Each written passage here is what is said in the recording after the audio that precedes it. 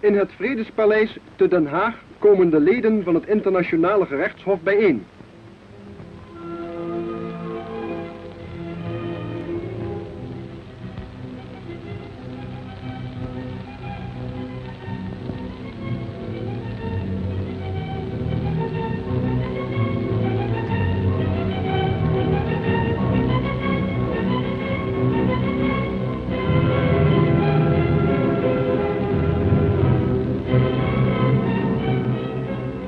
Tijdens de eerste besloten zitting wordt uit hun midden als president gekozen Dr. Guerrero, als vicepresident de Fransman professor Badevant en als griffier de Noor Hambro.